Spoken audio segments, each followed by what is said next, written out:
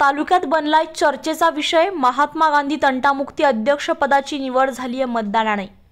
महात्मा गांधी तंटामुक्ती गाव अभियान हे गावातील लोकांना भांडणापासून आणि पर्यायाने गुन्ह्यापासून परावृत्त करणे व गावातील तंटा गावातच मिटावे या उदात्त हेतूने महाराष्ट्र शासनाने सन दोन हजार सातपासून ही योजना सुरू केली आहे. हे अभियान सुरू केलं आहे.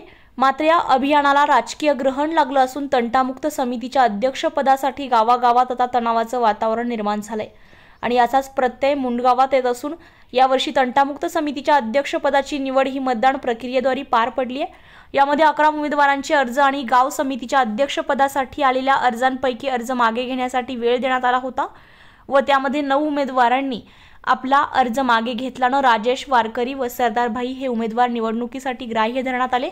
उमेदवाराद्वारे पार पडणाऱ्या या निवडणुकीसाठी निवडणूक निर्णय कमिटी बनवण्यात आली होती व तंटामुक्ती अध्यक्षपदाच्या निवडणुकीमध्ये राजेश गजानन वारकरी यांना तीनशे एकोणचाळीस मते मिळाली तर सरदारभाई यांना तीनशे दोन मते मिळाली.